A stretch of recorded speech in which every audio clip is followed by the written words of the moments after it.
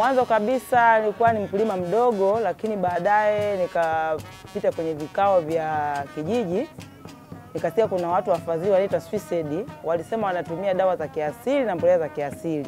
Nikashawishika, nikaipenda ile elimu, tukaanza kwa kuunda vikundi, mi nikawa mjane jamii wao. Kwa hiyo nilipopata elimu kwa mara ya kwanza SAT Morogoro, nilivyorudi nikaamua moja kwa moja kuingia kwenye kilimo zaidi cha kilimo hai.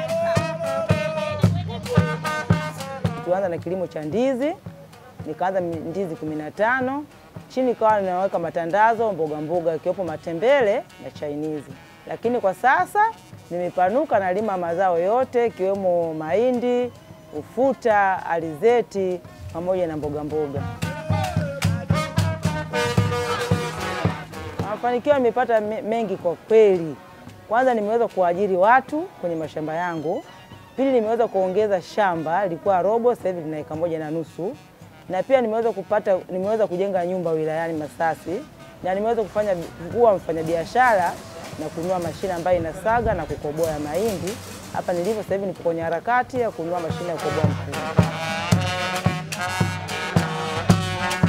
Mbegu zetu za asili, azina yetu, urisi wetu, tuzitunze.